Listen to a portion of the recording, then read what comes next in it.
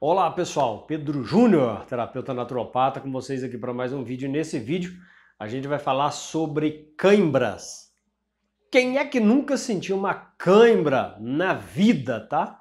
O local mais comumente acometido pelas cãibras são as pernas, mas você pode ter cãibra por vários lugares do seu corpo, porque afinal de contas os seus músculos na maioria das vezes por estarem cansados, existem outros motivos que eu vou falar nesse vídeo também, começa a dar cãibra. Você acorda, quem sabe, lá no meio da noite, aquele sono maravilhoso, você acorda com cãibra. E quando aquele negócio fica forte, é complicado, dá raiva, dá vontade de sair correndo, mas não tem jeito e a coisa fica feia. Cãibra pode acontecer por vários motivos. Um dos motivos é quando você começa a fazer uma dieta mais restrita em carboidrato. Bem restrita em carboidrato, como uma dieta low carb, uma dieta cetogênica. Isso pode acontecer, é um dos efeitos colaterais. Mas calma, não precisa ficar com medo de fazer uma dieta cetogênica. É só você seguir os passos, tá? Mas isso não acontece só com a dieta, não. Isso acontece em várias pessoas. Um dos motivos, já para adiantar para você aqui, é pessoa que toma a medicação diurética. O diurético ele faz você eliminar muitos líquidos, inclusive sódio, potássio, magnésio. Magnésio, né, que são os eletrólitos mais importantes na questão que eu estou acabando de falar para vocês. Ou seja, Falando aqui rapidinho, eu já disse aí três coisas importantes. Então vamos lá, olha só, os motivos pelos quais pode ser deficiência de magnésio, que é um eletrólito, faz você sentir câimbras, deficiência de potássio, né? Quem sabe o seu potássio está em baixa, porque o potássio é um dos eletrólitos que a gente mais precisa no corpo, que a gente deve consumir em maior quantidade, e também o sódio. Por exemplo, ah, se você estiver tomando medicação diurética, você vai eliminar esses eletrólitos que eu acabei de falar, todos eles você vai eliminar. Ah, mas tem que eliminar o sódio, porque muitas pessoas têm pressão alta, têm problemas com inchaço nas pernas, em, em edemas em outros lugares, aí tem que eliminar o sódio, por isso a medicação diurética. É, mas junto com o sódio vai embora os outros eletrólitos também. Por isso é interessante potássio e magnésio.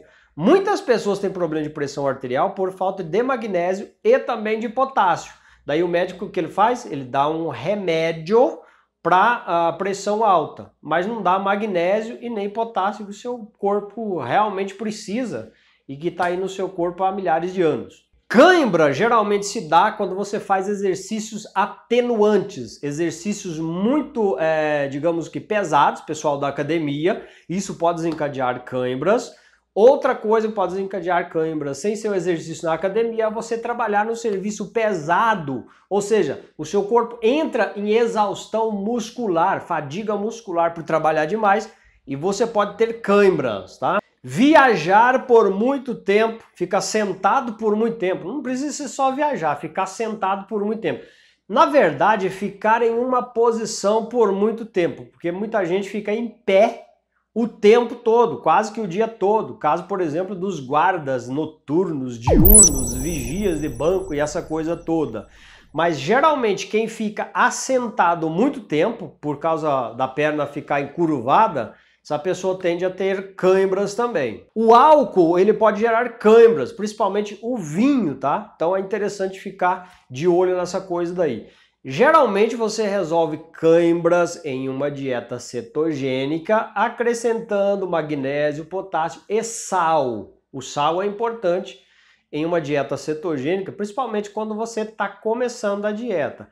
Falar em dieta cetogênica, se você quiser adquirir o meu livro digital sobre dieta cetogênica, como você emagrecer e resolver alguns problemas de saúde, você pode fazer isso aqui embaixo na, na descrição desse vídeo, tá? A desidratação também é uma causa comum de você ter câimbras, não por causa do diurético, tá? Mas muitas pessoas não bebem água suficiente, principalmente as pessoas mais idosas. Então a desidratação, ela também causa câimbras. Além disso, a superidratação. Poxa, mas a desidratação e a superidratação Sim, senhores, tem muita gente que bebe muita água. Tem, tem gente que bebe pouca água e tem gente que bebe muita água. Aí quando você bebe muita água, você vai eliminar mais eletrólitos também. Então isso é um problema também, que deve ser olhado, que deve ser investigado. Então, as causas possíveis de cãibra, eu já disse para você, e em caso de cãibra, se você estiver passando por isso, de repente seja interessante você olhar em tudo isso que eu falei aqui, principalmente dos eletrólitos, tá? Na ingestão de eletrólitos como potássio, magnésio e sal, né? No caso de quem tem pressão arterial alta, aí não é aconselhável você tomar sal, mas para quem é, tem uma dieta restrita em carboidratos, isso deve ser pensado sim. Como eu falei aqui sobre dieta e eletrólitos, esses são assuntos muito pertinentes. A dietoterapia está dentro do curso de naturopatia da Faculdade de Indústria da Saúde Brasil. E os eletrólitos, que são os minerais, eles também estão dentro de uma disciplina chamada terapia ortomolecular, onde você vai estudar todos os nutrientes importantes para o seu corpo e como usar os nutrientes em doses elevadas para você melhorar condições patológicas, ou seja, doença no seu corpo. Existem muitas doenças que podem ser tratadas com nutrientes, vitaminas, minerais é, e algumas plantas medicinais que vão entrar na jogada por causa do seu complexo fitoquímico. Todas essas disciplinas estão dentro do curso de naturopatia da Faculdade de Indústria da Saúde Brasil. Você vai aprender também outras disciplinas, né, que são terapias alternativas complementares. São mais de 20 disciplinas. É como se você fizesse 20 cursos em um numa duração de dois anos. É, no final desse curso, você recebe um certificado emitido por uma faculdade de nível superior, podendo atuar na área da saúde natural como um naturopata. A naturopatia, ela está dentro do Cadastro Brasileiro das Ocupações, que é o CBO, ou seja, você pode trabalhar sendo um profissional da área natural, que é o naturopata. Nada vai te impedir, está dentro da legislação brasileira, assim como profissões como advogado, como pedreiro, como marceneiro. Tudo isso são profissões que existem no Brasil. Você pode trabalhar tendo o conhecimento necessário para isso. Então, o curso da Faculdade de Indústria da Saúde Brasil, curso de naturopatia, vem trazendo mais uma profissão para o seu currículo acadêmico, tá? É, esse curso é um curso de extensão acadêmica e você pode fazer também o curso com titulação de PhD, ou seja, doutor em naturopatia. Essa titulação de doutor em naturopatia é muito importante. Eu quero frisar que o curso de doutorado em naturopatia você vai ter o título. Esse título é muito interessante e muito importante para um profissional.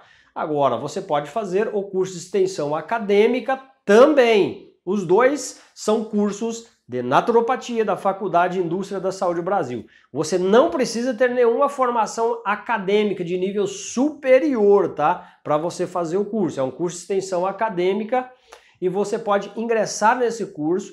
As aulas são totalmente online. Você vai usar o seu computador, seu tablet, seu smartphone aí da sua casa. Não vai precisar nem sair aí do seu home office para você fazer o seu curso. O mais interessante é que as aulas são ao vivo. No momento que você está assistindo a aula, é o momento que o professor está transmitindo.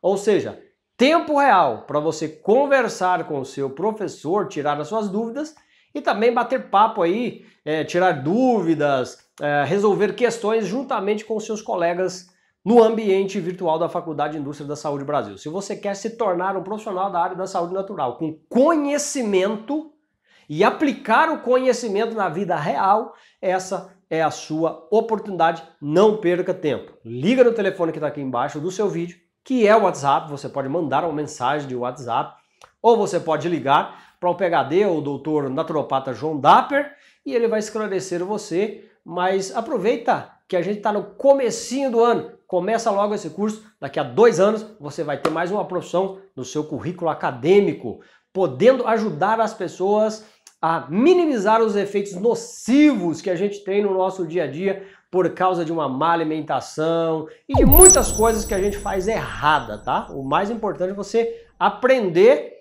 e é, colocar isso em prática em você mesmo, na sua família. Você vai ver que vai funcionar, você vai tomar gosto pela coisa e você vai querer trabalhar somente na área das terapias naturais.